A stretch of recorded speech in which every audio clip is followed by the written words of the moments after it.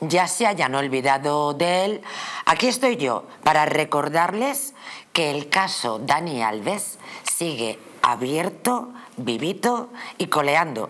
Recuerden, estamos hablando de ese futbolista brasileño que un 30 de diciembre de 2022 en la discoteca Shooton de Barcelona casi, casi firma, no voy a decir su sentencia de muerte, o sí, al menos su sentencia de muerte social. Después, de que la supuesta víctima interpusiera la denuncia, el que fuera lateral derecho del Barça y del Sevilla ingresó en la prisión de Brians 2 el 20 de enero de 2023. Apenas unos meses después, les recuerdo que todo esto tiene que ver con una muchacha que denunció al futbolista por haber sido violada en la célebre discoteca de Barcelona. Desde entonces, Dani Alves ha permanecido entre rejas en un periodo de tiempo en el que no ha cesado de aparecer noticias a su alrededor. Y estos días hemos conocido que el caso podría dar un giro. El futbolista prescinde del reputado penalista Cristóbal Martel y cambia de abogado antes del juicio tras las repetidas peticiones de libertad condicional que le han ido siendo denegadas y afronta un nuevo cambio en su defensa. Así que hoy les vamos a hablar aquí en la huella del crimen y a propósito de esta noticia de actualidad de cómo fue la última noche de Dani Alves en esa discoteca, en la discoteca Shooton, de cómo, por cierto, defendía en un principio el futbolista su inocencia. Estuve bailando ahí un, rato, disfrutando, pero sin, sin invadir el espacio de, los demás, siempre respetando el entorno. Lo siento mucho, pero no, no, no sé quién es esa, esa, señorita, no, no, no sé su nombre, no, no la conozco, nunca vi otra vez en mi vida. Y también, por supuesto, de las declaraciones de la joven, de la mujer, que le acusa de violación. Se me acercó y me dijo, ¿es que no sabes quién soy? Y yo, no. Me dijo, me llamo Dani y me dice, juego a la petanca en Hospitalet. Recuerdo que me cogió la mano y me la puso como en su parte baja. Me volvió a decir que nos fuéramos. Yo dije que no. Empecé a tener muchísimo miedo y pensé, ¿y si me pone algo en la bebida? ¿Y si le hace algo a mi amiga? Pensé de todo en muy poco rato. ¿Él le llama? Yo recuerdo que él me hizo como un gesto y fue cuando le dije a mi prima, no sé si voy. Y me dijo, pues bueno, no pasa nada. Y me hizo el gesto de vete y ya está. ¿Y cuando le decía de ir a un sitio, le explicaba qué sitio era? No, no, yo en ningún momento sabía dónde estaba yendo. Yo recuerdo dirigirme donde estaba él. ¿Y dónde pensaba usted que iba? Yo en este momento dije, seguro que es o una puerta hacia la calle, o es una sala VIP, o es otra zona de discoteca. Él abrió la puerta, recuerdo, y yo entré, y cuando entré, vi dónde me estaba metiendo. Vi que era un lavabo diminuto, era muy, muy enano, solo tenía un retrete y para lavarte las manos. Y allí yo ya creo que en este momento empezó mi shock. No entendía nada, hice como para girarme y él ya había cerrado la puerta. No sé si le puso seguro. Y también nos vamos a ocupar de la posición que tienen las exmujeres del futbolista. También nos acercaremos a un cambio radical. De las declaraciones del futbolista de yo no conozco a esta señorita, Así conozco a la señorita, pero todo lo que ocurrió en los aseos de la mencionada discoteca fue sexo consentido. Todo lo que allí sucedió tenía que ver con algo consentido por ambas partes y además hay pruebas de ADN de ADN que han confirmado que Dani Alves mintió en su tercera versión del suceso. Las muestras biológicas halladas en la cavidad vaginal de la víctima pertenecen al futbolista. Los mozos de escuadra han obtenido muestras de semen de otras tres ubicaciones, en el suelo del baño, en la ropa interior y en el vestido que llevaba la joven la noche de la agresión sexual. Todas coinciden con el ADN de Alves. El futbolista brasileño permanece en un módulo para agresores sexuales de la cárcel de Brians II, a unos 40 kilómetros de Barcelona. Ahora el tribunal deberá decidir si deja en libertad con medidas cautelares al jugador. Hablaremos también de cómo está siendo la vida del jugador en prisión cuando dentro de nada estará a punto de cumplirse un año, mm, el, casi el último día del año, unas navidades intuyo, intuimos, ¿verdad?, que difícilmente va a olvidar el futbolista. También eh, les comentaremos cómo son las visitas de la expareja del futbolista en prisión durante todo este tiempo, de cuándo será el juicio y de finalmente qué va a pasar con ese cambio de abogados, porque hoy, si no nos falta algo en el estudio, precisamente son abogados. Esto es la huella del crimen.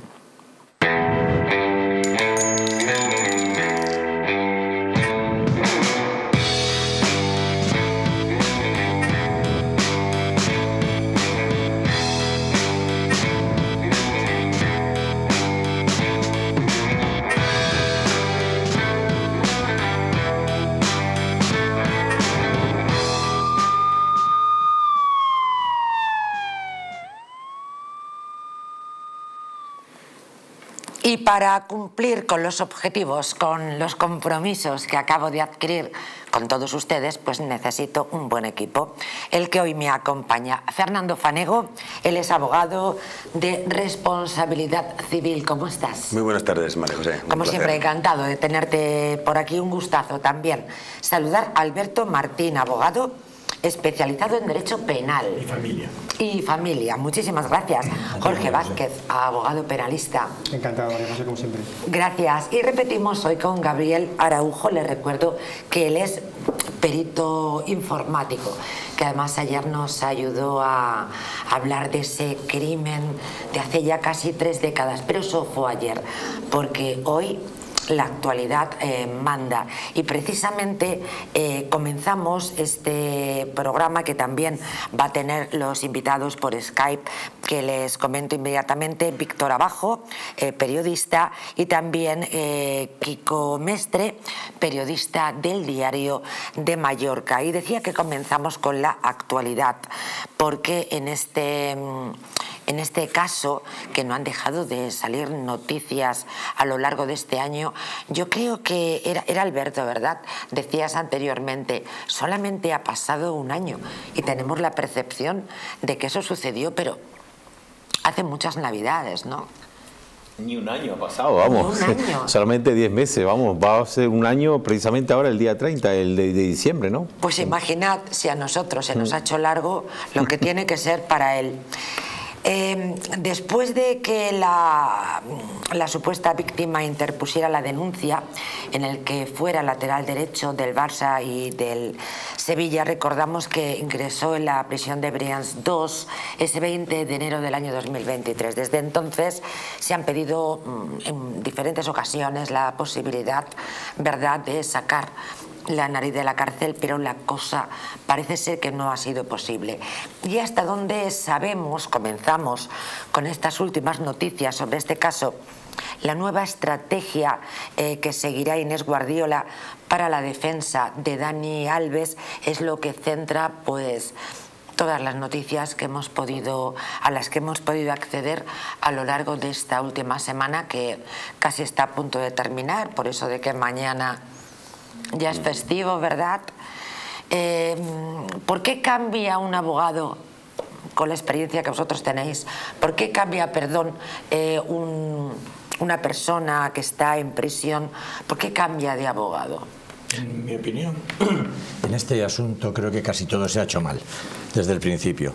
Desde la dirección jurídica, desde hacer declaraciones cuando no debía, y también el tema de los tiempos de difusión. Porque los ha hecho, discúlpame, creo que es importante subrayar, además en diferentes eh, televisiones, en diferentes programas. En derecho penal. Enviando vídeos tremendos, sí, es por si acaso. Yo creo que este abogado, que creo que es un buen abogado y ha hecho lo que le correspondía, lo que podía hacer en este ámbito. Cristóbal eh, Martel. Claro, pero yo parece que le contrató para que consiguiera ponerle en libertad.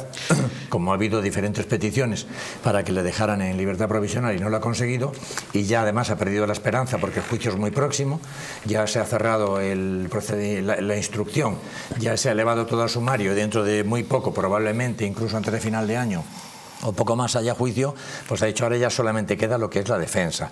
Y entonces si no ha cumplido sus expectativas y hay otra persona con la que ha comunicado de otra manera y tiene una estrategia específica para el juicio, creo que ese es el motivo por el que ha cambiado. Le contrató para ello. Pero es verdad que muy tarde, porque ya, digamos, había, mm, había metido la pata de forma clara desde el principio. Cualquier penalista le hubiera dicho, Sí, hubiera dicho que no declarara. Que no declarara. Hasta que no tuviera claras las grabaciones, los testimonios, las pruebas y luego ya que solamente haya una versión y no varias. Pregunta ingenua. Lo lógico es que el profesional le advirtiera. Podría ser que él se pasara la advertencia por el forro. Hay una cosa que es vital, sobre todo en la relación entre el abogado y el cliente, que es la relación de confianza. Cuando uno pierde la confianza en lo que está haciendo o en la, persona en la que usted, la persona que delega el trabajo a otro, pues está clarísimo que el futuro es negro y oscuro y perjudicial para su defensa. Y creo que es uno de los motivos principales. De todas formas, yo creo que antes de, mm, personarse en la causa el señor Martel, el compañero Martel, eh, creo que había otra compañera, otra abogada que fue la que inicialmente le, le inició en la, en la, en la- en la O sea, que instrucción de la llevaría causa. tres. Este es el tercero. Este sería el tercero. Sí, hay, hay una, hay una primera compañera que le llevó el asunto no sé cuántos meses al, al principio, no sé si a lo mejor lo, lo- días. lo- lo- lo- Brasileña, una abogada brasileña. una, una brasileña, exacto, Mireia o no sé, no, no recuerdo el nombre. De la misma nacionalidad que Pero cuando ya uno, empatía, cuando un mismo cliente te ¿no? quita, cuando un mismo cliente cambia de defensa varias veces, ya te indica el, el perfil del cliente. Pues el caso de Daniel Sancho, del que también recuerdan que nos ocupábamos ayer, va por el mismo camino. Bueno, yo por mi parte, efectivamente estoy de acuerdo con mis compañeros.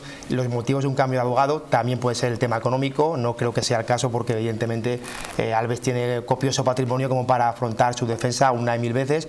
Está la falta de confianza, como dice el otro compañero, y también evidentemente una discrepancia en la directriz del objetivo de procedimiento penal. Y luego está una cuarta vía, que es la que yo he oído en prensa, que yo discrepo de, de ella, y es que al parecer habría sido Martel quien habría renunciado a la defensa porque se dice que entiende que va a perder el pleito y no se quiere desacreditar profesionalmente. Pero esto... Esto se ha dicho en prensa. Esto es una mesa de abogados. No, no, lo sé, lo sé, Mm. efectivamente. Pero esta es una mesa de abogados.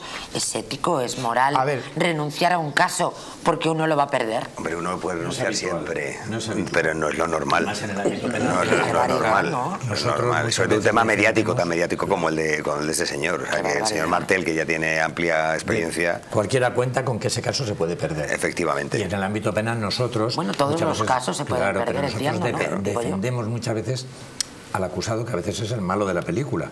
Y socialmente también lo es, pero si eso eh, te supone algún problema de conciencia, ya lo sabías desde el principio. Exactamente, además Claro. aquí Claro. además, eh, justamente en este caso, el señor Martel sabía perfectamente dónde se metía, los problemas que iba a tener, ya sabía que había declaraciones contradictorias, que había negado, que luego había reconocido, por tanto... Ahora lo vamos a ver, de hecho, Perfectamente. detenidamente. Deontológicamente, deontológicamente no creo que sea- Desde el entorno del futbolista apuntan que realmente hay una disconformidad por esas reiteradas peticiones de libertad y que han sido infructuosas también.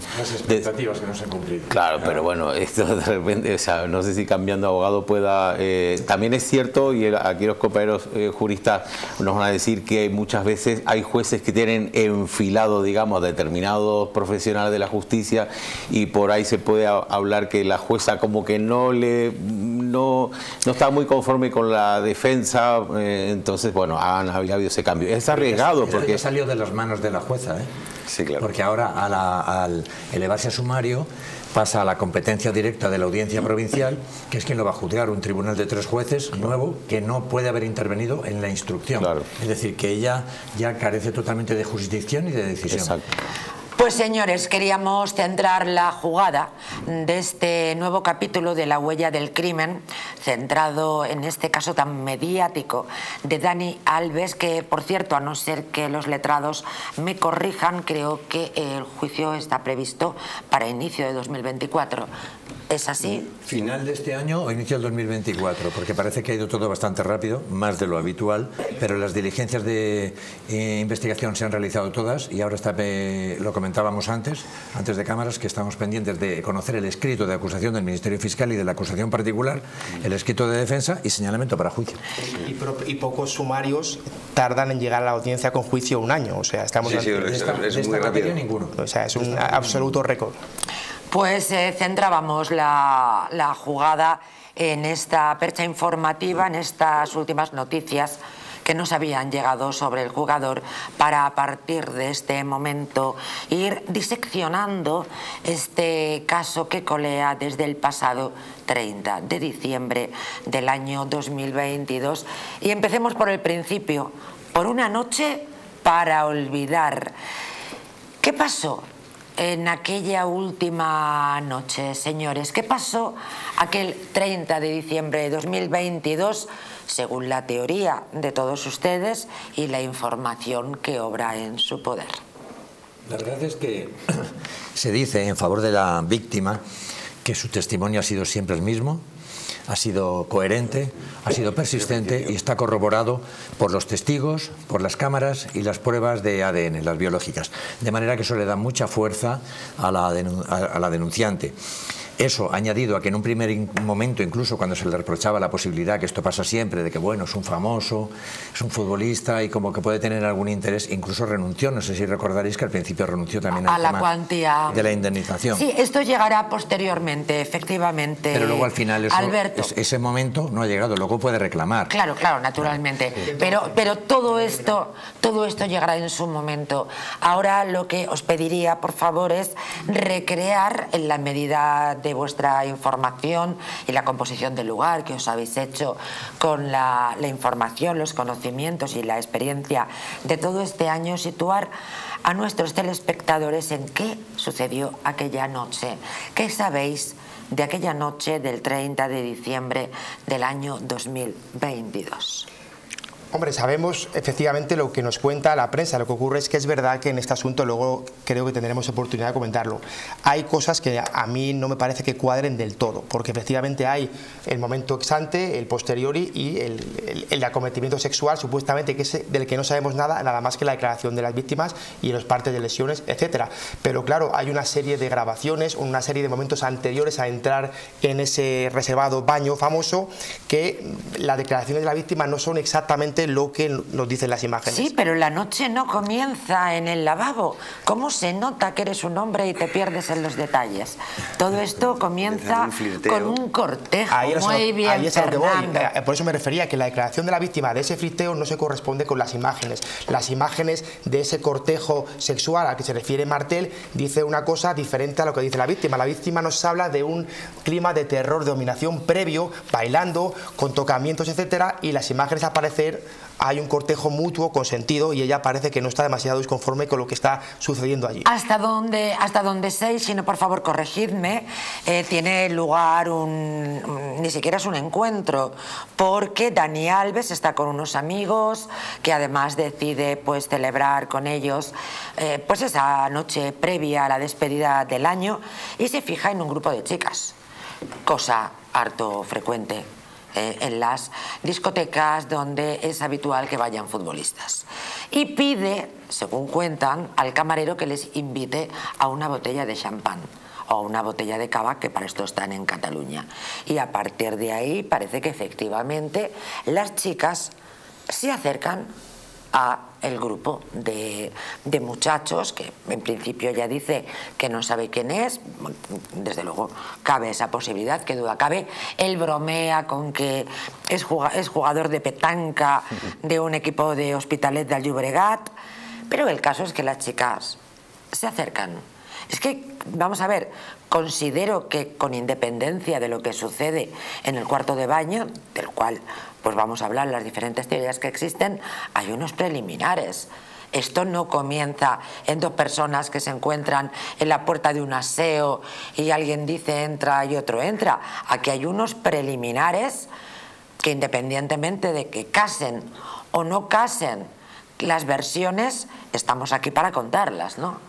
En un, caso, en un caso concreto en el que estamos hablando, es decir, una persona que, admite o presta su consentimiento a acceder a otra sala diferente a la que está, cuando se supone que a lo mejor desconocemos si esta chica había estado con anterioridad en, esa misma sala de fiestas o conocía cualquier tipo de reservados, ellas que accedieron de, de, motu propio al, ofrecimiento que le hicieron de la copa o lo demás. Pero es que es más, desde que las conoce el señor Alves hasta que ocurren los hechos y se van a la parte de arriba o de la zona del reservado donde está la habitación o el baño, este hay un momento en el que salen a la pista a bailar y es cuando se produce o intenta hacer el tocamiento o los tocamientos a... Sí, sí, le da una palmadita en el trasero al y, la lleva a la mano y le lleva la mano a sus genitales y demás. Hombre, una persona que tiene eso y padece eso, cuando no está conforme con eso, lo primero es, cuando no prestas consentimiento a una cosa, te agarras y decir, me voy a ir a una habitación con una persona que no tengo la seguridad. Os recuerdo que esos preliminares no otorgan consentimiento. Ya, pero, ¿vale? pero, pero esa es la El realidad. consentimiento a la comunicación del filtreo. Eh, nada tiene que ver con el consentimiento. Pero no deja de ser una preliminar, jurisprudencia muy compañero. clara sobre eso. Totalmente, pero hay Y, actos claro, previos. y lo claro. que desacredita a Dani, eh, es decir, la chica se va voluntariamente con él. Sí, sí. Vamos a darlo por sentado. Eh, Pese a- Perdón, conocer- perdón. Pese a no haber estado conforme con ese tipo de, de, de- O del de todo actos. conforme. O del Perdón, todo conforme. yo Porque tampoco lo me- denunció. Claro, sin claro. saber si estaba del todo conforme o no estaba conforme, sí quiero subrayar, por favor, que los hechos tienen lugar cronológicamente después de bailar y efectivamente que él mm, fuera un tipo grosero. ¿Eh? y de pronto pues efectivamente llevara esa Tampoco mano lo convierte en un violador. no, no, le, le convierte en un grosero absolutamente Estamos hablando de una despreciable que Son naturalmente hechos, son hay que hechos, salir claro. de la pista y mandarlo a hacer Pero puñetas de a manera inmediata. Eh, pero importante, importante, saber la secuencia de los hechos. Permitidme, tenemos un periodista, Víctor Abajo, eh, a través de Skype. Muy buenas tardes. ¿Cómo Hola, buenas tardes, ¿qué tal? Hola Víctor, Eh, muchas gracias por participar en la huella del crimen.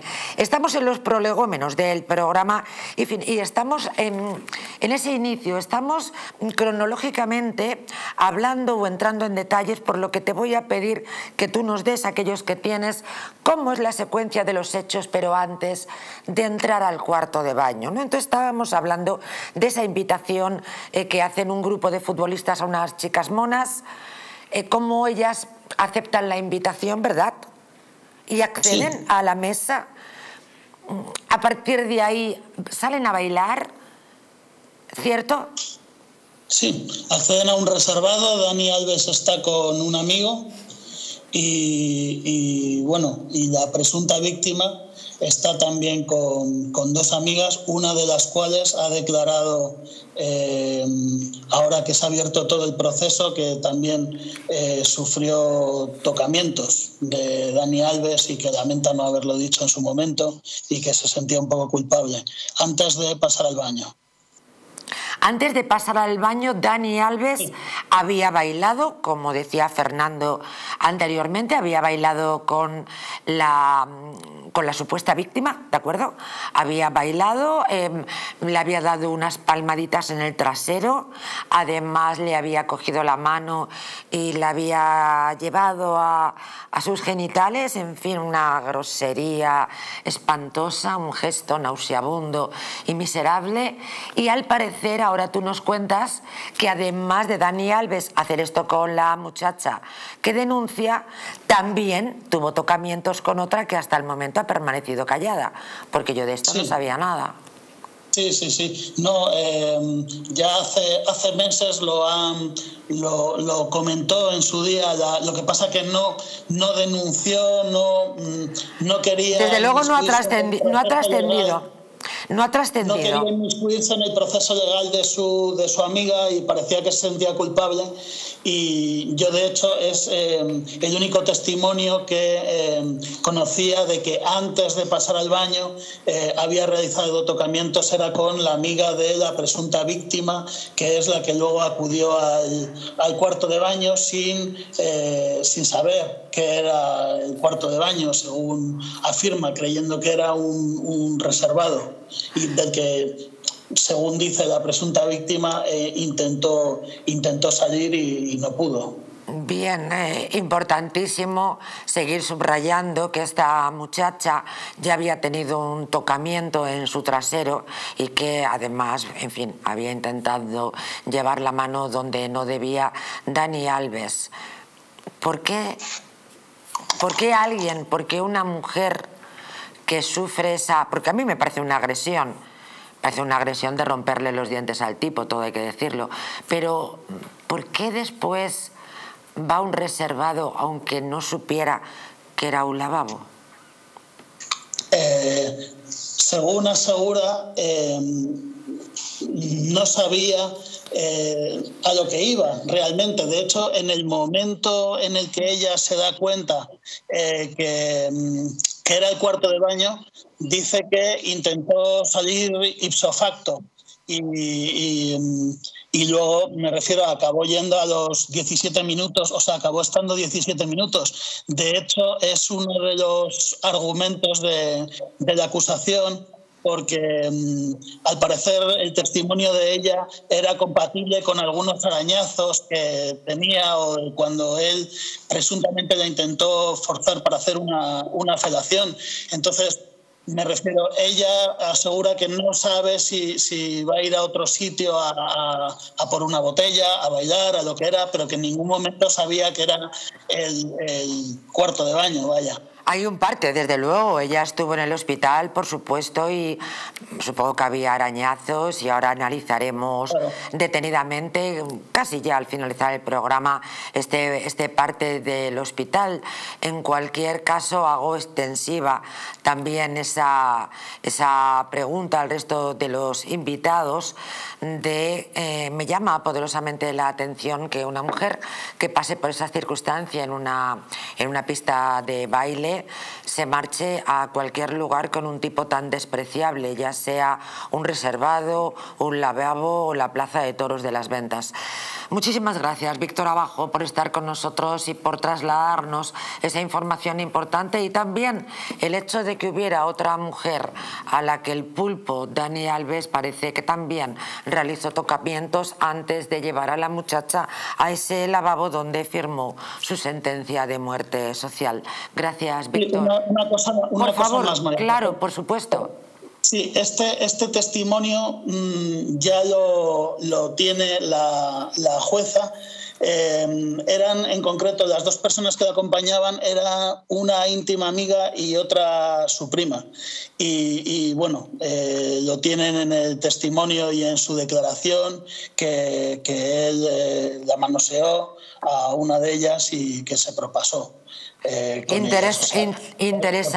interesantísimo ese dato. Muchas gracias. Un saludo. Gracias.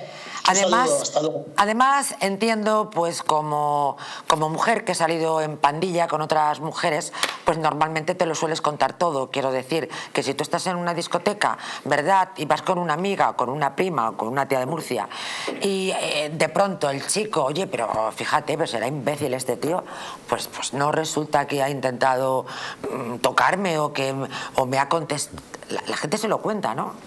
Tres abogados y un perito.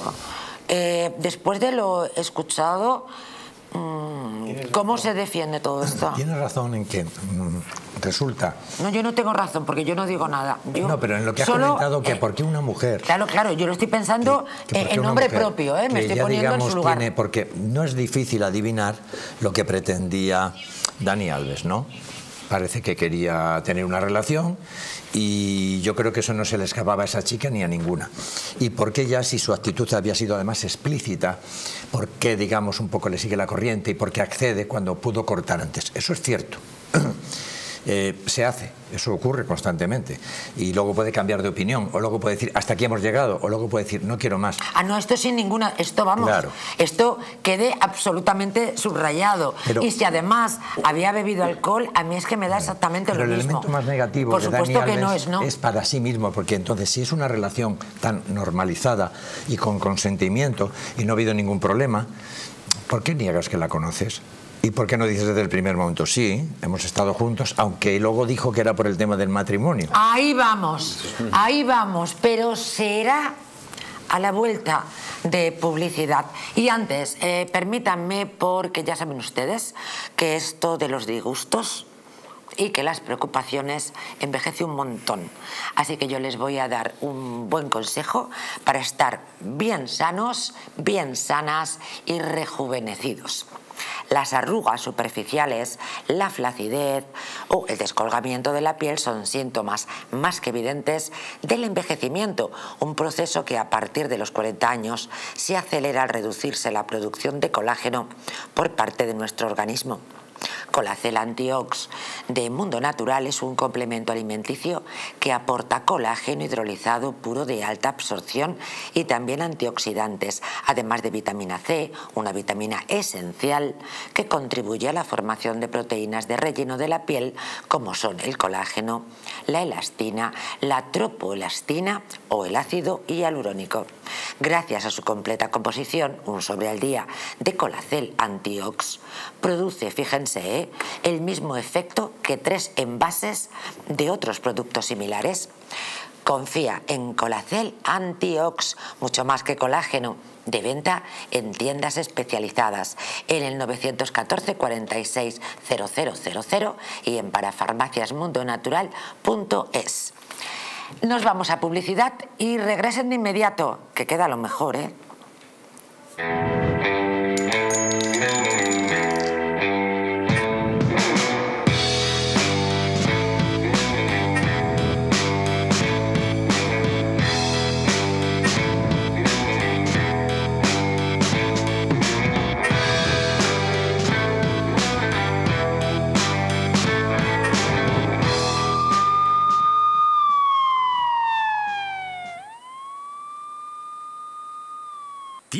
De su cocina llenos de cuchillos, pero ninguno de ellos corta como debería? Es el momento de dejar de aplastar la comida en vez de cortarla. Y esto se debe a que muchos afiladores no afilan realmente, sino que destruyen la hoja. Le presentamos Bavarian Edge, el revolucionario afilador que cuenta con dos brazos elásticos independientes para afilar cualquier cuchillo en tan solo unos segundos. Si le gusta cocinar con cuchillos afilados, entonces necesita el Bavarian Edge. La diferencia con otros afiladores está en sus dos brazos elásticos independientes, fabricados con una aleación de tungsteno y carbono que se adaptan a cualquier tipo de cuchilla para conseguir siempre un afilado perfecto, siendo el único afilador capaz de afilar cuchillos de sierra. Hemos destrozado este cuchillo intentando cortar este bloque de hormigón, pero solo son necesarias unas pasadas entre los brazos elásticos de Bavarian Edge y volverá a estar tan afilado que podrá cortar un zapato sin ningún problema. Sus cuchillos volverán a cortar, a hacer filetes, picar, trocear y hacer dados con la misma facilidad que lo hacían el día que los estrenó. Este filete congelado está tan duro como una piedra, por lo que con un cuchillo para untar mantequilla no podemos cortarlo.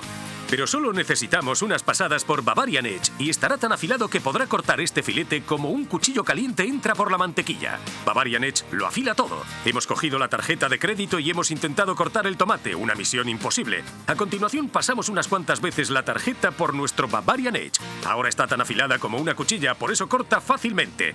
La diferencia con otros afiladores está en sus dos brazos elásticos independientes, fabricados con una aleación de tungsteno y carbono que se adaptan a cualquier tipo de cuchilla para conseguir siempre un afilado perfecto, siendo el único afilador capaz de afilar cuchillos de sierra. Otros afiladores de cuchillos podrán costarle más de 100 euros, pero si llaman ahora, Bavarian Edge puede ser suyo por el magnífico precio que aparece en pantalla. Además, si llama en los próximos 5 minutos, podrá conseguir su segundo Bavarian Edge a mitad de precio. Pero dense prisa porque esto no es todo. Las primeras 300 personas en hacer su pedido no tendrán que pagar los gastos de envío. No pierda más tiempo y llame ya.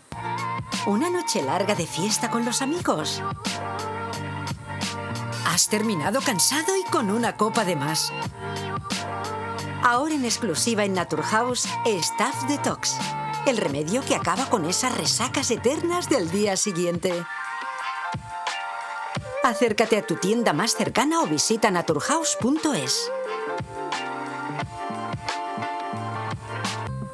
¿Quieres proteger tu sistema inmunitario de la gripe, COVID y otras enfermedades?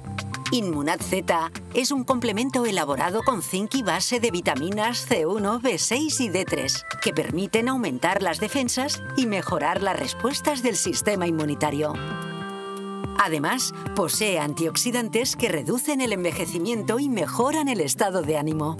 Con Inmunad Z, las defensas al poder. Acércate a tu tienda más cercana o visita la web naturhaus.es. Hotel Las Dunas, un lugar mágico en el corazón de la Costa del Sol. En primera línea de mar, situado en un oasis de armonía, tranquilidad, enfocado en la salud y bienestar de nuestros huéspedes. Desconecta del estrés y la monotonía del día a día. Estancias con programas exclusivos y personalizados de salud, rejuvenecimiento y control del peso. Elegancia y bienestar junto al mar sin renunciar a la actividad y la vida saludable. Descubre las Dunas Hotel Health and Spa, el más exclusivo de toda la Costa del Sol.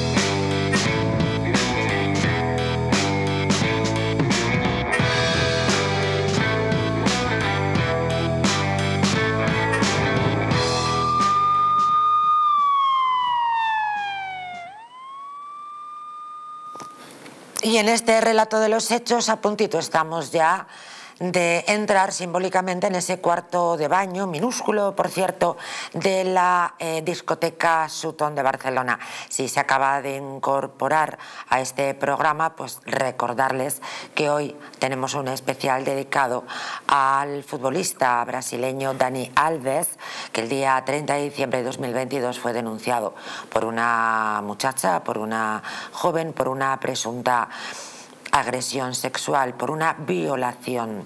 Y estábamos a punto de entrar en ese lavabo porque veníamos de bailar en una pista de baile donde el tipo se había compartido, eh, comportado perdón, de una manera enormemente grosera y absolutamente despreciable. Y después de eso, naturalmente, en el mejor de los casos, una lo que puede hacer es darse la media vuelta y marcharse. Pero la muchacha no lo hizo y esto naturalmente no exime de culpa al individuo si la forzó.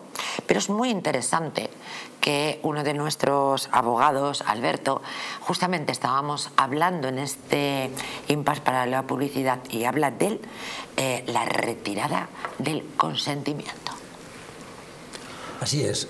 A veces, como muchas veces se reprocha a las víctimas, es decir, ¿por qué no hizo? ¿Por qué siguió? ¿Por qué fue? ¿Por qué se metió?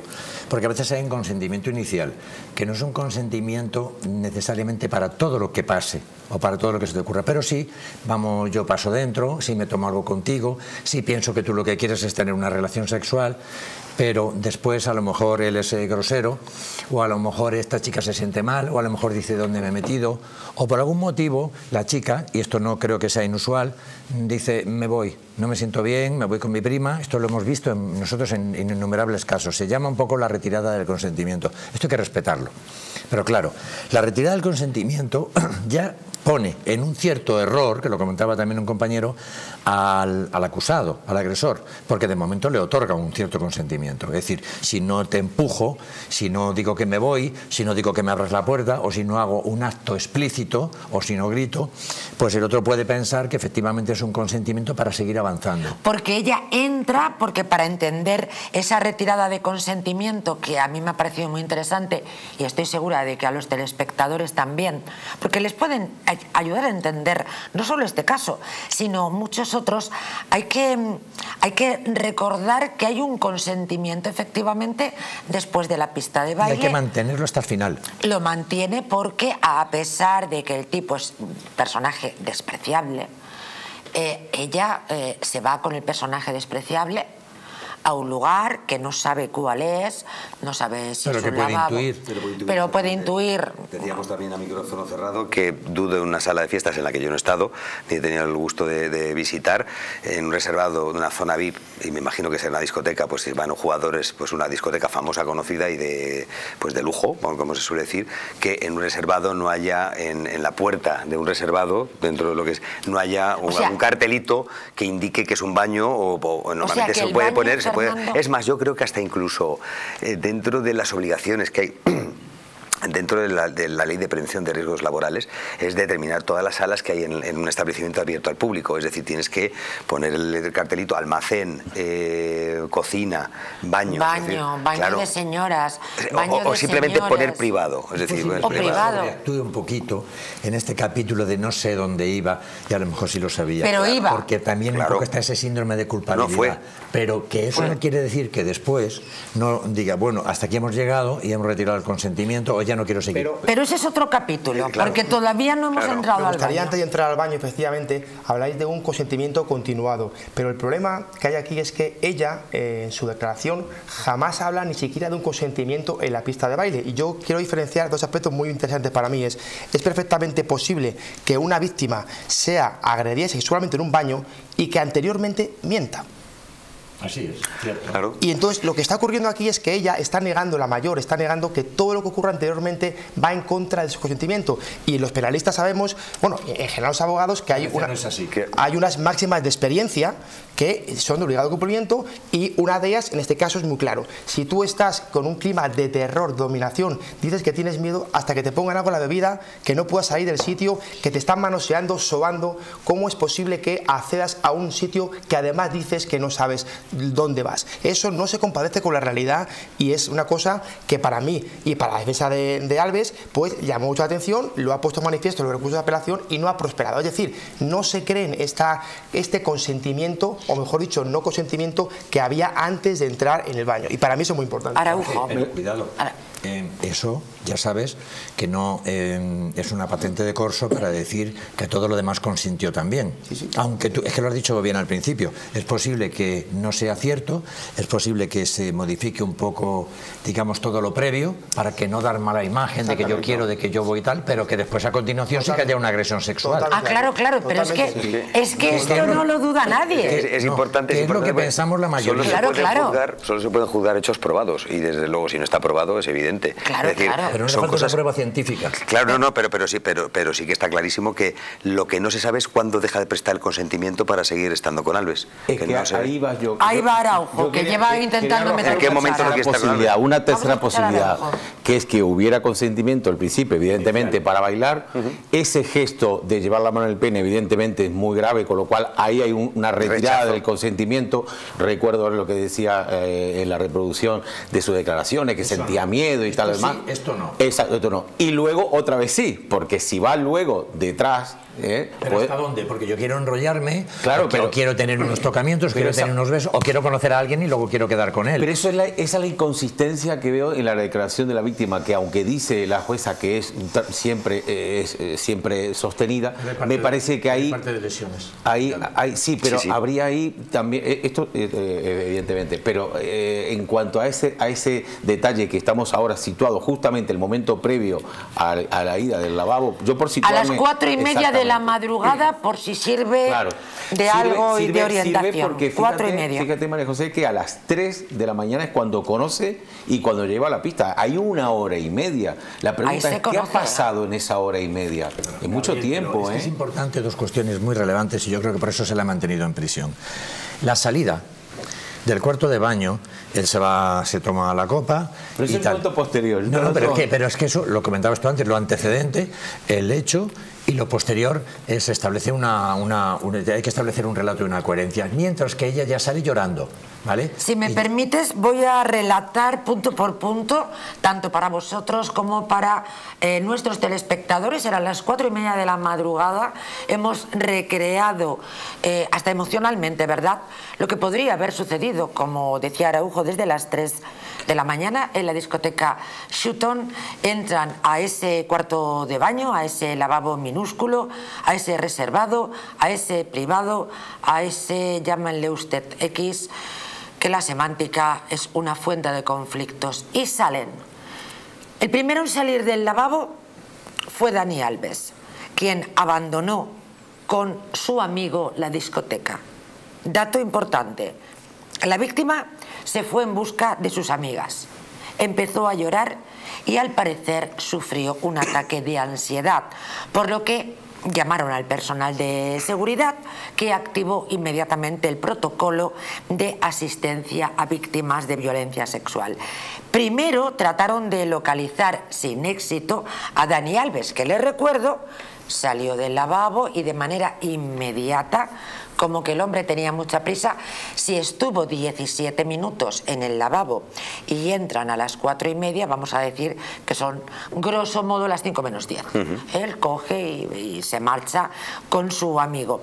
Cinco minutos después se presentó una patrulla en la discoteca Shooton y la joven explicó a un agente los hechos que, bueno, ella dice, y nadie tiene por qué dudar, efectivamente, que fueran ciertos, que es lo que ocurrió en ese lavabo, ¿no? Que además es muy desagradable, es muy grosero y a mí no me apetece recrear en este momento. Más o menos se lo pueden imaginar lo que es una violación, como ella relata que la empuja eh, hacia un lavabo, mm, que intenta, en fin, que ha alguna fantasía sexual y que termina finalmente violándola, ¿no? Todo esto eh, se lo cuenta a la policía. La joven es trasladada, y esto es importante, en ambulancia al Hospital Clínic de Barcelona, donde se le practica un examen en busca de restos biológicos. Y el 2 de enero se formaliza la denuncia ante los Mossos de Escuadra aportando el informe médico y la ropa que llevaba esa misma noche que naturalmente pues termina contaminada de, pues, de restos genéticos, como no puede ser de otra manera.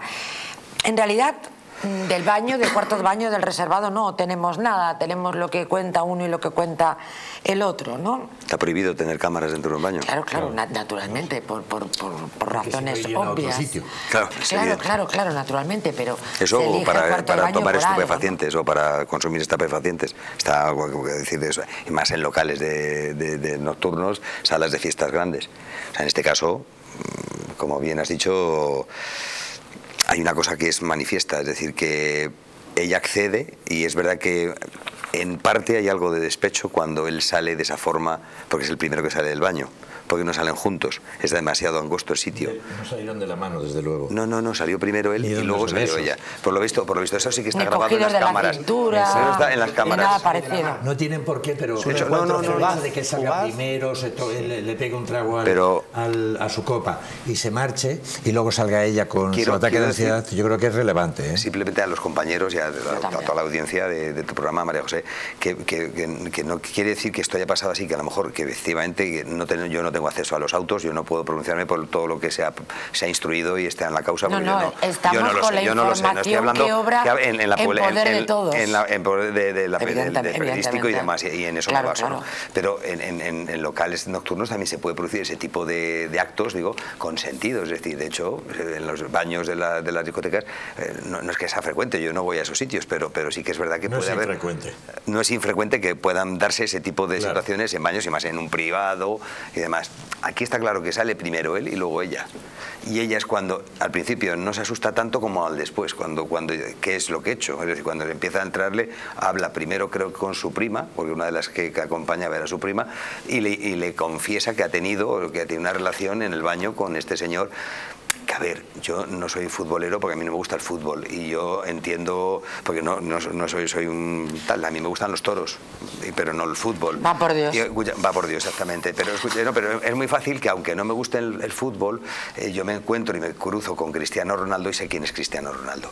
Yo me cruzo, es decir, que mediáticamente Ah, pues el yo, jugador... yo me cruzo con Dani Alves en la discoteca Shooton o en el rastro de Madrid. Pero tú no tienes, yo pero tú no tengo tienes, ni 20 pero idea. tú no tienes 25 años. No tengo. Ya, Solo pero- dirás tú. Es que a ella no, pero no, perdón. A- a me ella- refiero, me Todavía, refiero- no tiene 25 años to- todavía. todavía. Ah, María vale. José. He sido muy imprudente en decir esto así, de esta forma. Tenía que haberte la colocado de una forma. Permítanos ponerle pero- un poquito de humor, Claro. porque si no la pero vida tú me es muy entiendes dura. que a lo mejor ¿eh? una, una chica joven de veintitantos, perdón, compañero, que una, una chica joven de una edad más o menos que digo, pues a ver que No ahora tiene por mismo qué saberlo no tiene por qué saberlo. Es que yo creo que no tiene nada es que ver la edad con es Ronaldo, Sinceramente. ni tampoco la afición de cada uno la sabemos. Pero Barcelona tampoco, sí, sí, yo me entiendo lo que quiero decir, pero, pero sale Piqué y entra por esa Pero puerta y todos sabemos quién es Piqué y a mí no me gusta nada el fútbol. Pero Piqué Pero ya es es otra invitada. cosa diferente a Dani Alves. Ya, ya, ya, ya Hay empezamos un a entrar detalle- en- Aunque no te Hay- guste el en un grado en un grado de de conocimiento de la conocimiento persona. de, de popular. Pero, pero es que incluso, aunque gente que le gusta saber acostarse que a lo con mejor dice, famosos. no sabía quién era, pero alguien seguro,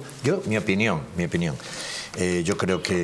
eh, Qué malintencionado, están- Fernando, acabo de darme cuenta, claro, porque entiende que una muchacha joven que va al Shooton naturalmente va a ligar con lo- como los futbolistas, porque en Madrid Saben también van, claro. había Sí. en tiempos Sí, lo hay, una sí. serie de, discotecas donde las chicas iban, pues a ver si ligaban con el... Previsiblemente. Pero, mira, yo, yo Vale, lo- vale. yo- Ahora lo he Yo lo explico de, de- de otra manera. Es posible que la chica incluso no supiera quién era. Venga, partimos Pero de yo creo, vale. yo creo, mi opinión Sí, personal, sí, sí. Y, y creo realmente que la- él no hizo, hizo lo que no debía hacer dentro. Por supuesto. Pero pienso Pequeño que, aunque no lo supiera, alguien se lo dijo. Claro, es Sí, que yo pienso, Es que se lo dijeron. Que la Que se lo prima o la dijeron, se amiga lo alguien le dijo, dijeron. oye, Claro, oye, este es un jugador del. Barça Se lo que dijeron, Dani se lo Alves. O sea, dijeron. yo creo que no entró con ese desconocimiento. Que el, que el conocimiento no la hace culpable tampoco. Ah, no, por supuesto, Pero- faltaría pero- pero más. son cosas que suman Como o si que quiere restan. ligar con el Claro, presidente del gobierno. Claro. por eso Ya ves Son sí, cosas que suman o que No, que, restan. que- sabía quién era así porque hay un grupo ahí de amigos mexicanos en común. Recordemos que estaba ¿eh? jugando en México Ella dice que no, este hombre por eso Yo creo que alguien se lo dijo, en porque el su- entorno y el contexto lo, lo propiciaba. Efectivamente. Y si no se lo dijo uno, se lo dijo otro. Efectivamente. O- otra Jorge- cosa, para que no parezca, yo creo que la chica Si también... es que además estaba en no un reservado, si es que además estaba en un Además, reservado que no Jorge, una pasamos a otro punto importantísimo. Por Jorge. eso, Cristóbal Martel, en su alegato, en su recurso, presenta una pericial de 200 páginas y se refiere a la distorsión narrativa, que lo llama él, para decir por qué las imágenes me están mostrando una situación, una conducta distinta a la que usted me está contando. Es decir, ella ah, eh, se manifiesta sobre cosas que no se compadecen con las imágenes. Por eso al final decís, alguien ha dicho en la mesa, es que obviamente no hay cámaras en el baño. Por eso Cristóbal Martel dice, sí, el relato que hace la víctima en el momento exante no se compadece con la realidad y usted magistrado lo puede ver con una cámara que yo le muestro y unos fotogramas, ¿por qué no vamos a querer la versión que da de lo que pasa en el baño? Pero Jorge, Penalmente es- es, eso muy es válido ese argumento. Eso es para el Sí, pero ella lo ha contado para Pero la libertad provisional. En la instrucción, tú sabes que es suficiente con que haya indicios. Correcto. Incluso la prueba de declaración es más que suficiente. Es decir, para que se haga la apertura de juicio oral. Correcto. Pero todo eso y la prueba pericial y el detalle de lo que se compadece o lo que no se compadece, Por eso, es una prueba para el juicio. Eh, ¿eh? eh, Araujo, y nos vamos un, a otro un único asunto. apunte. Es que precisamente la defensa no recurrió el auto de prisión para poder celebrar el juicio lo más rápido Pero, sin posible. embargo, luego solicitó la libertad. Claro, claro. Y se la denegaron y es que- en fun- por, por diferentes motivos, pero el primero de ellos es porque las diligencias estaban casi todas practicadas y no iba a tardar mucho en señalarse la No vista. recurre el procesamiento, no es lo que no recurre, ¿eh? el procesamiento. Pero luego pidió la libertad. Sí, pero eso está Y recurrido. vamos a otro punto fundamental, y es eh, la primera metedura de pata de Dani Alves, si me permiten esta expresión. Una vez analizado todos los hechos desde un lado y desde otro, imaginando, poniéndonos en los zapatos de, de- la víctima y del victimario, entrando en esa discoteca Shooton una vez que mm, la muchacha le da el ataque de ansiedad y intentan buscar a Dani Alves en la, en la discoteca, pero como ya hemos dicho, él se ha tomado lo último que restaba de su, col- de su copa, ha cogido con su amigo y se ha ido, vete tú a saber si a un after, que lo mismo era lo más probable. El caso es que... mm, no lo encuentran, pero finalmente dan con él y le piden explicaciones. Y Dani Alves, de pronto, se rasga las vestiduras y dice, que nombre, por Dios bendito, que yo no conozco a esa persona de nada. Si yo no conozco a esta señorita, vamos a escucharle a él. Estuve bailando ahí un, un rato, disfrutando, pero sin, sin invadir el espacio de, de los demás, siempre respetando el entorno. Lo siento mucho, pero no, no, no sé quién es esa, esa señorita, no, no, no sé su nombre, no, no la conozco, nunca vi otra vez en mi vida. A ver, eh, escuchando detenidamente, y ahora habláis, eh, hablan los abogados, a ver, que no supiera su nombre yo no lo podría en duda. O sea, ahora que no sabe quién es esa señorita, sí, pero no conozco su nombre, no tiene por qué saber su nombre.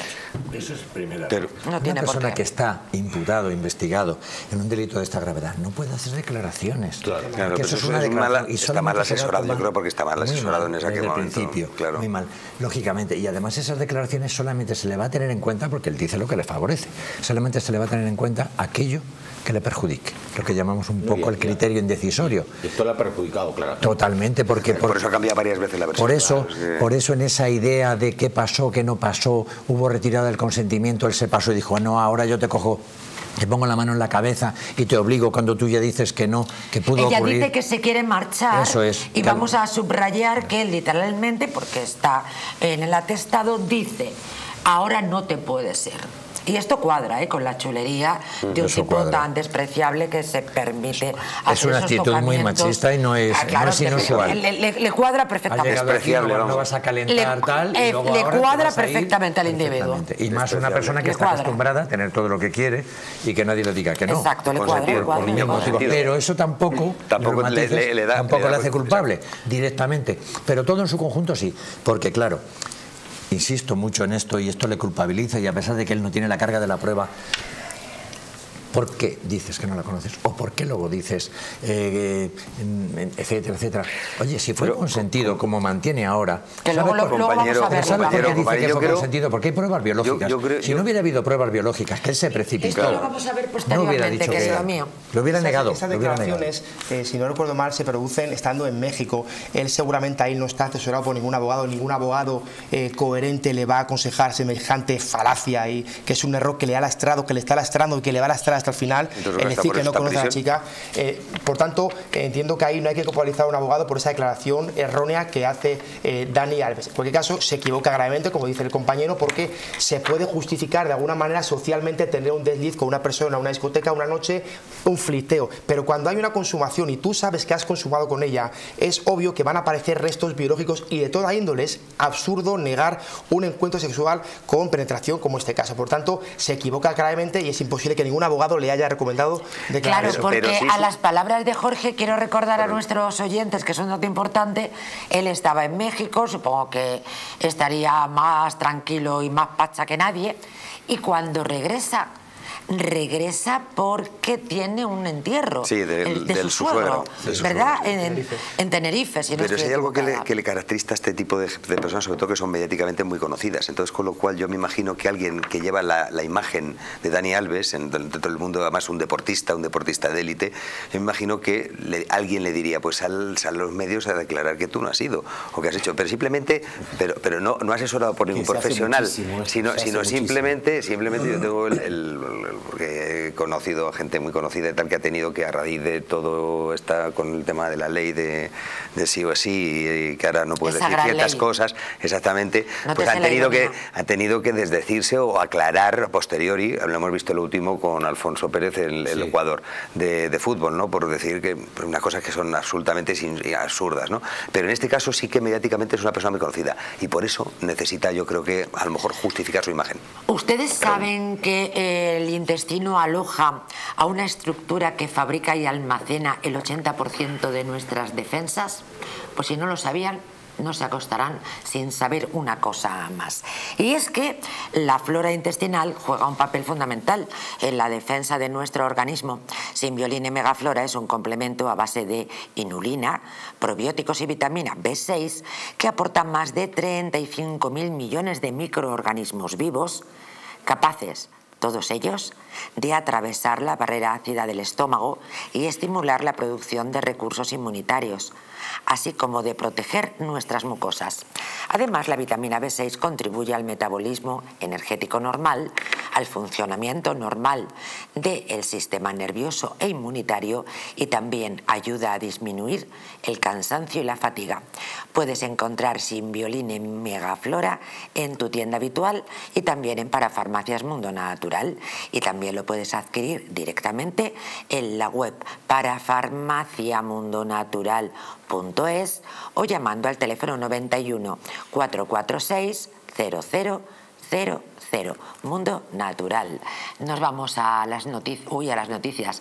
Vamos a la publicidad. Regresamos enseguida porque no saben lo que queda por cortar en este asunto.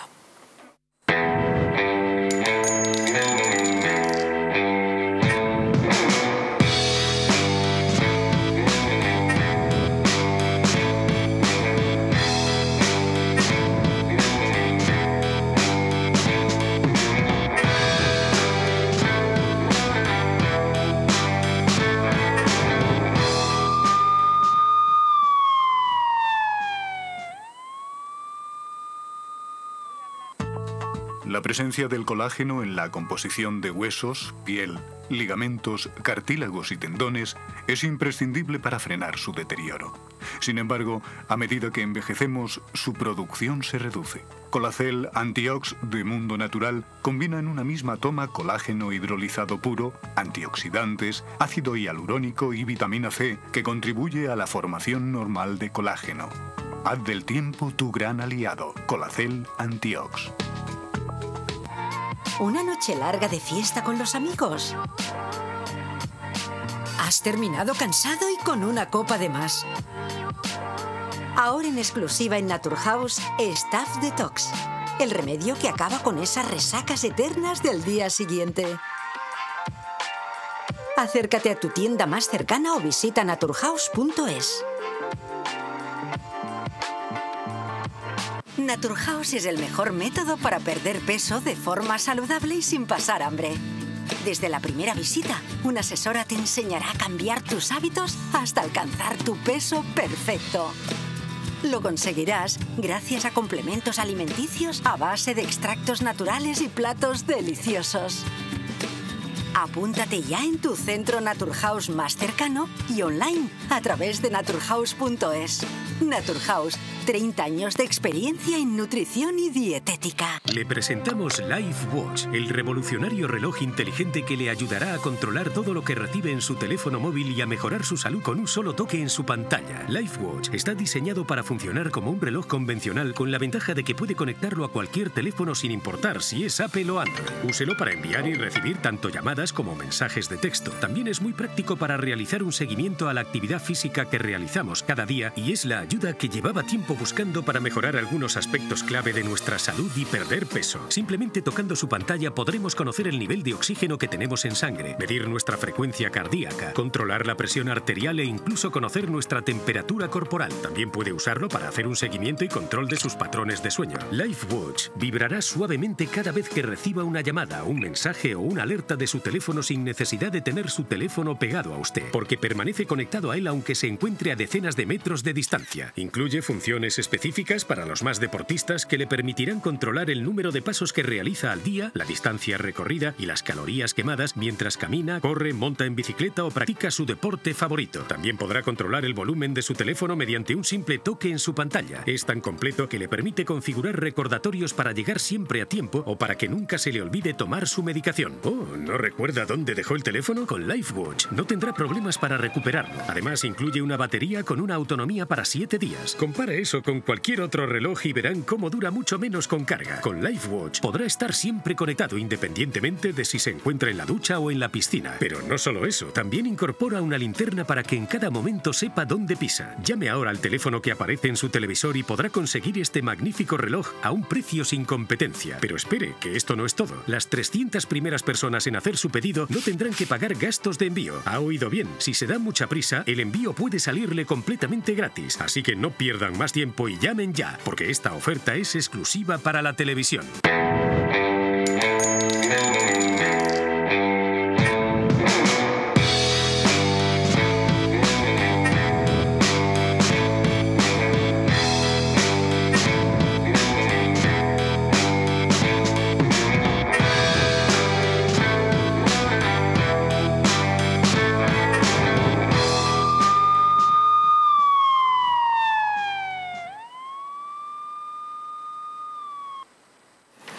Pues cuatro datos que a mí me parece que van a ser muy interesantes tanto para los colaboradores de esta mesa como para todos ustedes, porque ya que estamos bien metidos en harina, nos eh, despedíamos para la publicidad en ese momento en el que Dani Alves hacía unas declaraciones absolutamente surrealistas desde México, pues bueno, creyendo naturalmente que no iba a pasar nada porque era un tipo importante y que al final, pues yo creo que hay personas, ¿verdad?, que consideran que no, que no sufren ningún peligro.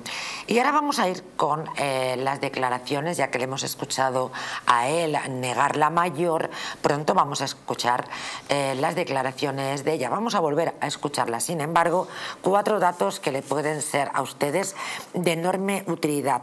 Él viene a España y además viene porque, bueno, tiene que declarar, por supuesto, pero viene a un, a un entierro, al entierro de su suegro en Canarias. Bien, eh, pues nada, para el calabozo.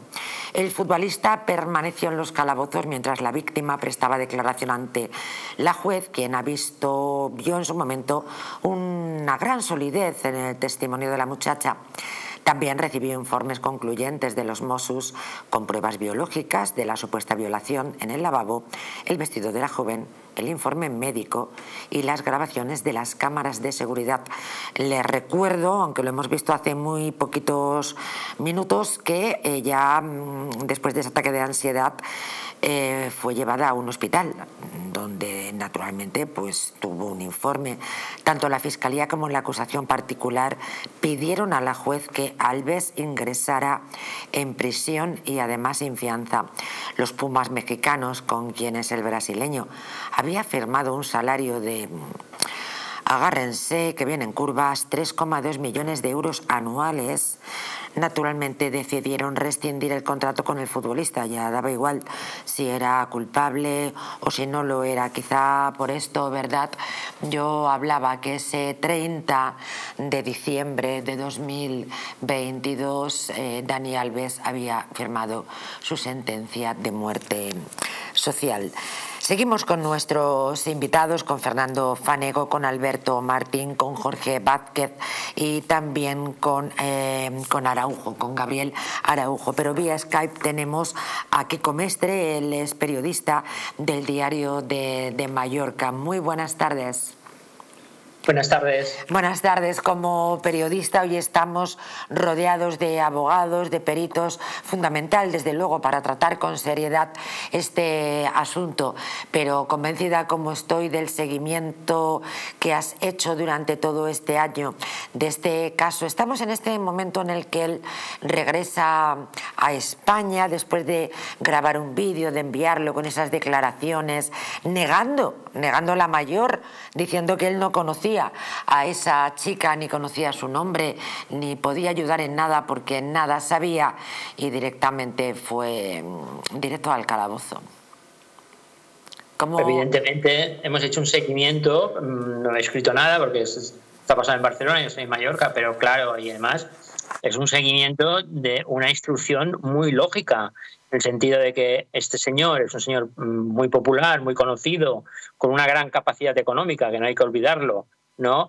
que está acusado de un, un delito gravísimo como es una agresión sexual, cuando la víctima se muestra muy firme desde el minuto cero, eh, hombre, eh, es lógico que, que, haya una prisión preventiva y, que, y siempre uh, respetando la presunción de inocencia frente a una, una declaración mm, lineal que ha, ha, contado lo mismo desde el minuto cero ante y frente a un señor que creo que ha contado cuatro versiones diferentes, lógicamente la jueza de instrucción, al menos de momento, da más prioridad a la víctima que al futbolista.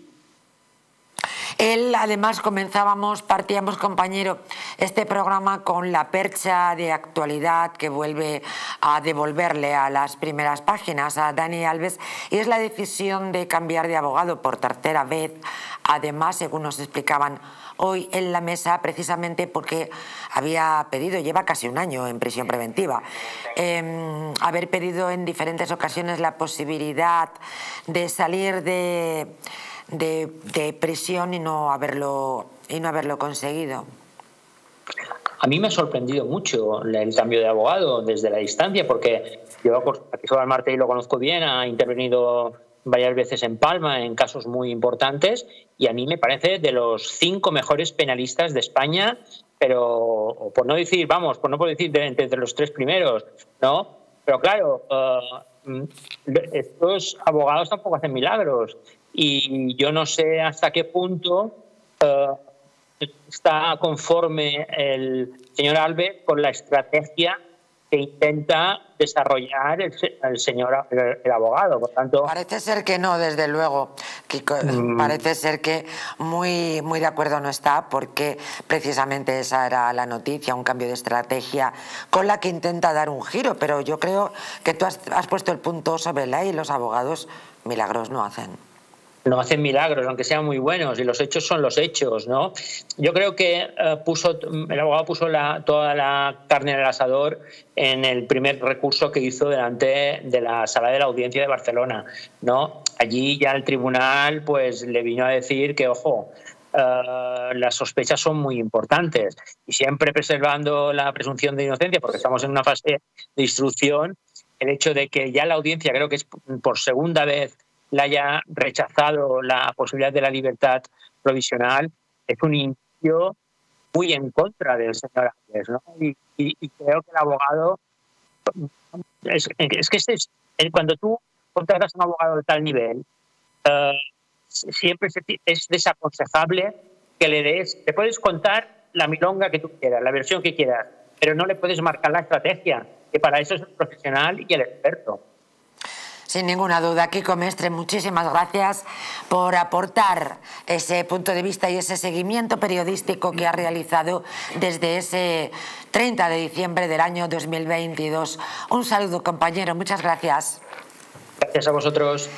Vamos a escuchar de nuevo la declaración de ella porque iniciamos la recta final y nos queda probablemente la guinda del pastel. Se me acercó y me dijo, ¿es que no sabes quién soy? Y yo, no. Me dijo, me llamo Dani y me dice, juego a la petanca en Hospitalet. Recuerdo que me cogió la mano y me la puso como en su parte baja. Me volvió a decir que nos fuéramos. Yo dije que no. Empecé a tener muchísimo miedo y pensé, ¿y si me pone algo en la bebida? ¿Y si le hace algo a mi amiga? Pensé de todo en muy poco rato. ¿Él le llama? Yo recuerdo que él me hizo como un gesto y fue cuando le dije a mi prima, no sé si voy. Y me dijo, pues bueno, no pasa nada. Y me hizo el gesto de vete y ya está. ¿Y cuando le decía de ir a un sitio, le explicaba qué sitio era? No, no, yo en ningún momento sabía dónde estaba yendo. Yo recuerdo dirigirme donde estaba él. ¿Y dónde pensaba usted que iba? Yo en este momento dije, seguro que es o una puerta hacia la calle, o es una sala VIP, o es otra zona de discoteca. Él abrió la puerta, recuerdo, y yo entré, y cuando entré, vi dónde me estaba metiendo. Vi que era un lavabo diminuto, era muy, muy enano, solo tenía un retrete y para lavarte las manos. Y allí yo ya creo que en este momento empezó mi shock. No entendía nada, hice como para girarme y él ya había cerrado la puerta. No sé si le puso seguro. Bueno, cada uno, ¿verdad? Pues sacará sus conclusiones todo lo que sucedió en el reservado mm, con la otra muchacha que también sufrió tocamientos, la prima, el que hago voy, no voy, mm, todo esto estaría grabado, pero volvemos a decir que naturalmente lo que sucedió en el lugar de los hechos em, no. Retomamos nuevamente una parte fundamental que son las declaraciones de ella que vuelven a situarnos en el mismo, quizá en el mismo espacio. ¿no? Ese es el objetivo, desde mi punto de vista, de la defensa. La exposición que ha hecho Kiko Mestre ha sido magnífica, ha hablado como un auténtico abogado. Eh, Además de periodistas, es que lo tiene todo. Pero ha hablado como abogado porque ha explicado muy bien lo que está a favor, lo que está en contra, las fases de la instrucción, en fin, el recurso, los indicios, la audiencia. La verdad es que ha hecho una estructura muy correcta y parece que es un profesional de este tipo de, de sucesos. Ahora bien, ahora queda el juicio. ¿Qué es lo que queda? Porque hasta que está previsto, recordamos, a principios de 2024, cuando más o menos se cumpla un año del encarcelamiento. en el interrogatorio, porque yo he llevado muchos casos de agresión sexual. Sí. En el interrogatorio de esta chica sí. están las posibilidades que tiene la defensa de sacar el juicio adelante. No en lo que dijo él, y no en el resto de pruebas periféricas, en mi opinión, que ya está todo relativamente claro. Y además las pruebas biológicas ya no nos aportan nada una vez que ya se ha reconocido la relación. En el interrogatorio, en función de la coherencia, la incoherencia, lo que explique, el orden, el sentido común, lo que hizo, lo que no hizo, cuándo, que explique no en cinco segundos, sino en más tiempo, los 17 minutos que pasaron dentro, lo que pudo hacer en el bloqueo, si gritó, si golpeó la puerta cuando salió, lo que di en las palabras las palabras, todos esos matices van a, establecer las posibilidades que no son demasiadas, pero creo que existen, de sacar adelante la duda de que la duda razonable de que pudiera ser que hubiera consentimiento prestado hasta el final, consentimiento permanente y sostenido hasta el final, y entonces el tribunal pudiera llegar a una sentencia absolutoria. Creo que eh, la posibilidad está ahí, difícil pero se puede hacer. A lo mejor precisamente pensando en ese escenario, el del juicio, fue también el cambio por una abogada joven, mujer, sé que presupone evidentemente ¿no? que ahí siendo una abogada mujer pues no va a estar eh, en favor de, alguien eh, agresor y demás, ¿no? Tal vez en, ese, escenario, ¿no? Es una, presunción ligera. ¿eh? ya, ya, pero, ligera. pero lo que sí, y, hagamos simplemente un juego, igual que tus televidentes, hagamos un juego, simplemente siéntase usted magistrado. Nuestros televidentes. Nuestros televidentes. Siéntase delante y siéntase usted magistrado, juez, para tomar una decisión y con los hechos que tienes encima de la mesa dictar una sentencia. Y luego fundamentarla, ¿eh? Porque eso es la audiencia provincial, penal. Es decir, que es un, que es un, que es un órgano colegiado, esos tres magistrados, hay imponente y tal. que, es agüita. Es decir, que haya cambiado tres veces de defensa, que haya cambiado tres veces de versión. De, versión, dice mucho de la persona que tienes enfrente juzgándola. Hay un asunto... Aunque, como dicen mis compañeros que son especialistas en penal, es decir, o sea, hay que probar. Hay que probar, lógicamente. Está probado que hubo penetración, está probado que hay restos materiales, o sea, restos eh, fisiológicos en, en, en tal, y lo negó, es decir, cosas que contrarrestan lógicamente la presunción de inocencia que ya cada vez tiene menos. Yo de verdad que no, no, dejo de preguntarme, de verdad, no dejo de preguntarme qué esperaba esta muchacha después de bailar con un prenda como este, con este pedazo de grosero, maleducado, machista y miserable, ¿qué esperaría encontrarse al otro lado de la puerta la chica? Es que hay una Desayuno con diamantes, querida, tremendo. Es que lo hemos escuchado varias veces, si me permites, en la, declaración de ella, eh, claramente ves, dice, ves, ella, ella sí ha explicado por qué va. En un pasaje de la declaración dice que va a despedirse. Eso no es creíble. A despedirse de un tipo que te toca el culo. No es creíble, por eso el compañero te decía que ya sé que no es el juicio, pero claro, me tengo que defender para sacar a mi cliente de prisión en un momento anterior al juicio. Entonces, ¿qué ocurre? Que ella, insisto, que no estoy diciendo que ella no fuera violada en el baño, pero ella no, es muy hábil en ¿eh? su declaración cuando introduce la palabra shock. Ella abre un paraguas en el que cabe todo. Cualquier matiz o laguna lo va a meter en el paraguas del shock. perdón, perdón. Hago una, hago una matización. De acuerdo. Un momentito, hago una matización. Si estoy equivocada, por favor, eh, quiero ser corregida, Jorge. El estado de shock, hasta donde yo sé, es después de salir del lavabo efectivamente ella se encuentra en estado de shock. ella ha dicho claramente que es el, cuando entro al baño, ahí empieza mi estado de shock. Dice, tú ven aquí y ahí empieza ella. Si tú al estado de shock en el momento que cruza y se entera que es un baño con un lavado de minuto. Ahí ya da shock, por tanto, el todo shock, el shock. pudo ser cuando le vio su miembro. Retiro la matización. El shock puede ser para muchas cosas. es igual que como, como a determinar cuando, cuando, cuando, hay, cuando, cuando hay ensañamiento, es con lo mismo que cuando hay ensañamiento. Cuando hay ensañamiento, a partir de qué cuchillada hay ensañamiento, en el momento en el que le produce la muerte a la víctima. Hay un asunto que yo no sé si a ustedes les parece interesante. A lo mejor es una parte de Crónica Rosa, pero a mí también me parece fundamental, ¿no? ¿Cómo es el entorno? ¿Qué sucede? Él está casado con un bellezón espectacular. ¿Conocéis a Joana Sanz, a la, a la mujer de Dani? Es una modelo, ¿no? una modelo maravillosa, una canaria bellísima, como todas las mujeres canarias, que qué barbaridad de, de lugar, ¿verdad? Bueno, pues el apoyo es brutal. Hoy ya es su exmujer, ¿eh?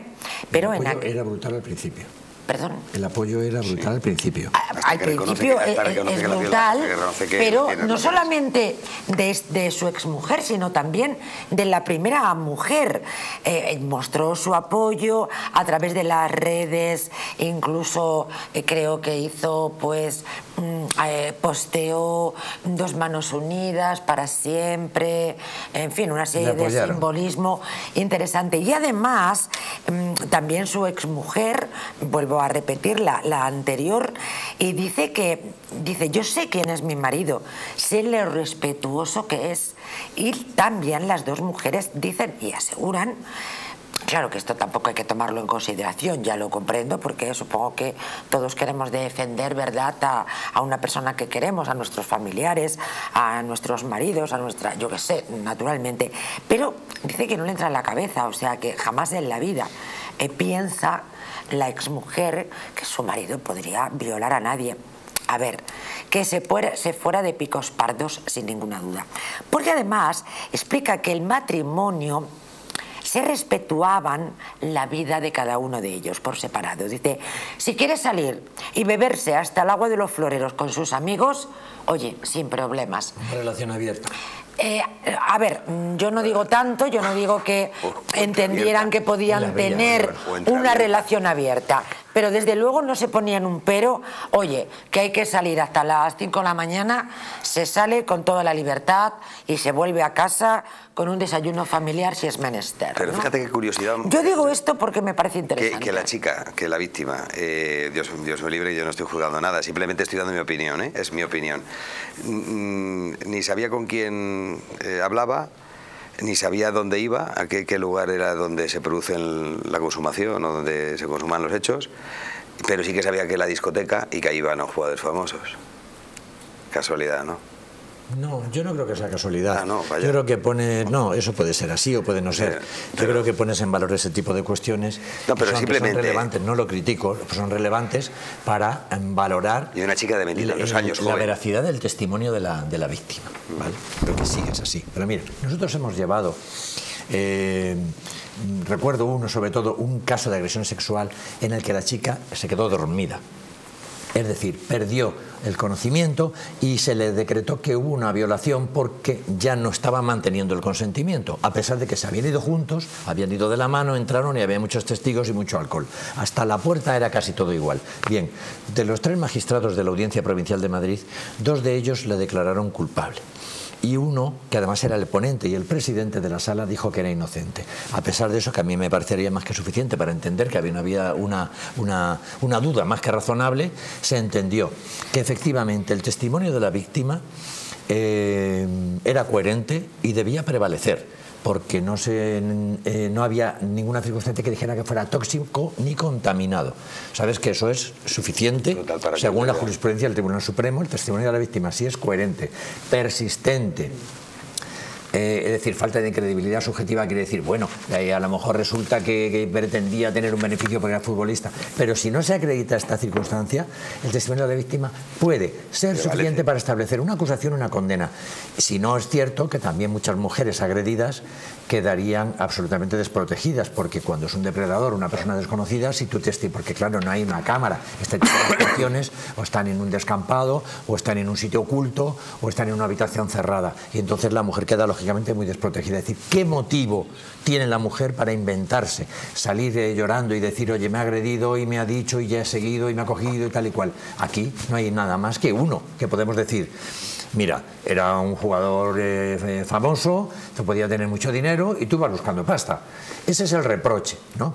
El reproche en genérico. Oye, Si no, tiene, per- reproche- perdón, perdón, no tiene por qué ir buscando dinero.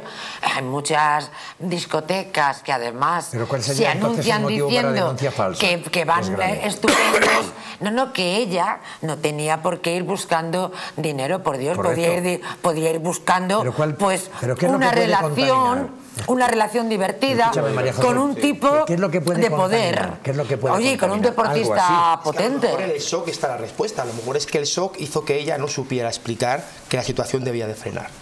Y eso es lo que... Pero estaba en una discoteca, cuidado. No estaba en un descampado. Sí, yo creo que está claro que ella no quería lo- que, que pasara lo que pasó. Y es una cosa No, no está claro, eso está El claro. problema es si ella supo Por lo explicarle... menos hasta ese punto. Claro, es que ella, Claro, eh, por ella es la que introduce la palabra shock, que para mí para- va a ser muy importante en el No hace falta explicarle a un hombre que una no quiere entrar por el aro, ¿eh? no hace falta que digo, ella tenga una si argumentación, ¿eh? eh, No, no, no hace falta. shock, ¿cómo Hasta aquí he llegado, No hace falta, ¿eh? Cuando No accede es no. al- cuando accede al baño, sabía con quién estaba. Totalmente ya sabía con quién estaba. Ya sabía que era un jugador del Barcelona. o Vamos del a Barça. suponerlo, Bueno, que sabía con quién estaba. porque ya se la había. Bueno, según lo que cuenta. Eso claro, eso es una- son automáticamente no desacredita su testimonio. No, no, porque pero- es posible que. pero es coherente, sigue siendo lo coherente, sigue siendo pasar. Y aquí no, podría ser que hubiera mentido hasta el apuntador. Ella miente, digo yo, ¿eh? ella miente porque naturalmente eh, después de que el tío sea un grosero, le da igual y se va a un reservado a ver si la cosa sale bien. Él miente porque naturalmente que la conoce. La realidad luego es que un machista un ser absolutamente miserable, un, un macarra de tercerísima generación, fuerza a una mujer que estoy segura que ella no quería llegar hasta ese punto en el lavabo. Pero ella va al lavabo e insisto, y no parece que, fuera aquí, a no esperar un desayuno Sí. y hablar sobre es, García Lorca. Es perfectamente posible. Ahora que estás así, no me vas a dejar así. No me Sí, vas sí, a dejar vamos, así. Le cuadra totalmente.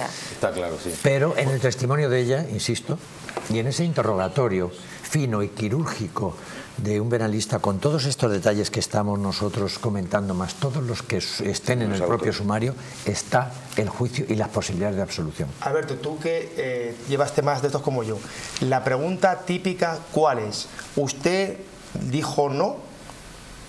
La famosa ley que no quiero repetir, ¿no? Sí. Esa pregunta se le va a formular. Ella seguramente diga que no lo recuerda porque estaba en Yo creo que va a decir que lo dijo. que Pues lo hasta dijo. ahora no lo ha dicho.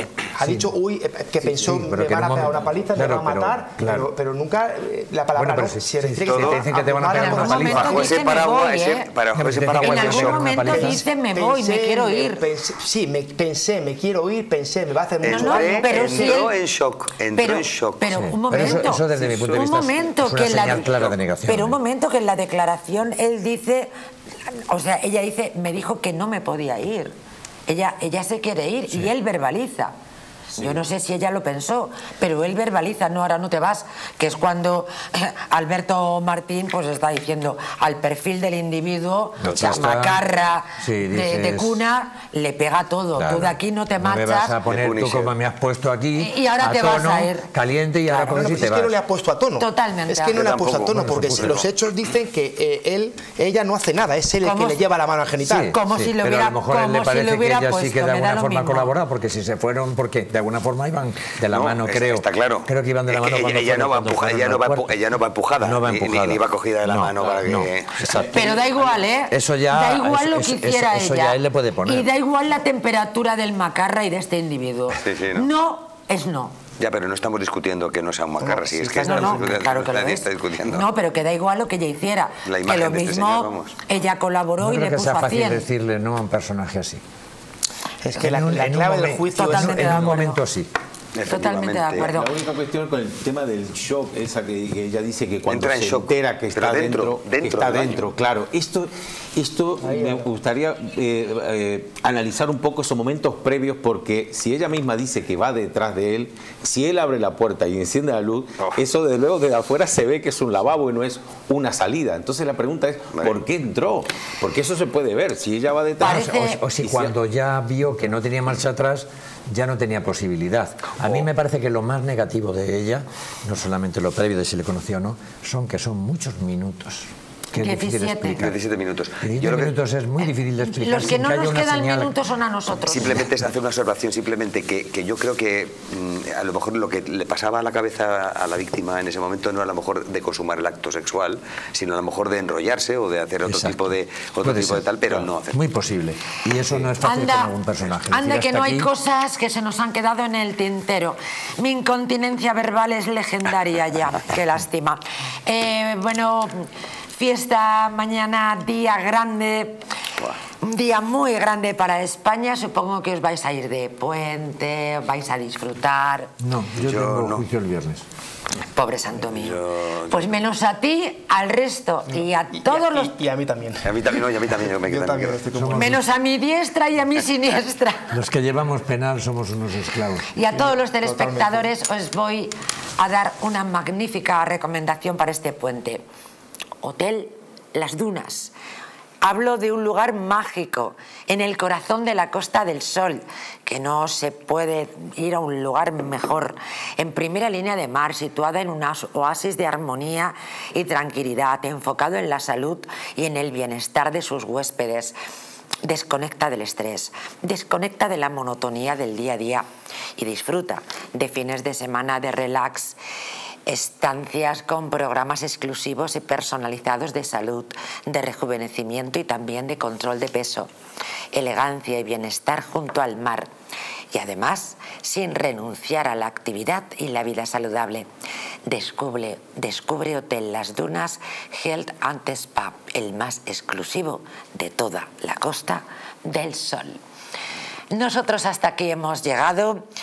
Feliz eh, Día de la Hispanidad, feliz 12 de octubre, feliz puente, feliz fin de semana. Muchísimas gracias por su atención y el lunes aquí estaremos. Muy buenas tardes.